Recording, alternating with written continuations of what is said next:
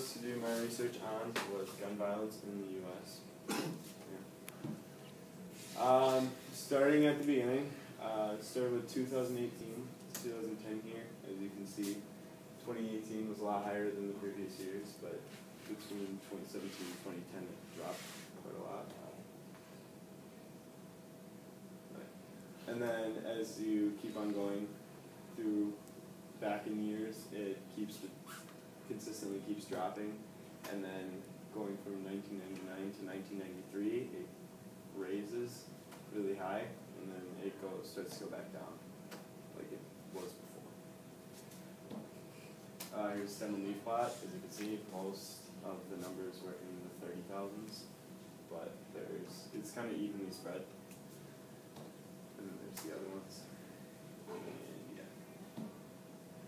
This is my Boston box and whisker plot. As you can see, most of the um, years had their deaths and violence in the lower ranges towards 30,000. And then you got your outlier here, which is um, 2018, which was 47,000, which is a lot higher than any of the other years. And yeah, your minimum. Is there a? That's not working. Uh, top right, you can see the minimum was uh, 28,663. Quartile 1 was 30,708. The median was 32,999.5. The 75th percentile was 37,155. Yeah, the maximum was 47,000. And the interquartile range was 6,447. Um, conclusions I can make based off this is that the annual gun deaths in the United States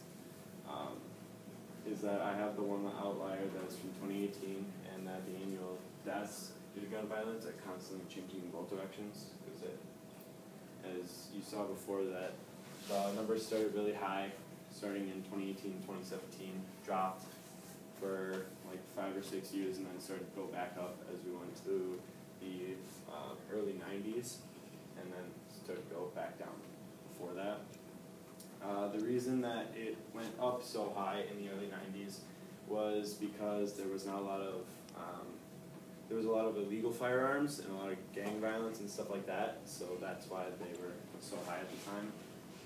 And yeah, and then in the recent years it went up because there's been a lot of stuff like that also happening with a lot of illegal firearms going around and public shootings and stuff like that.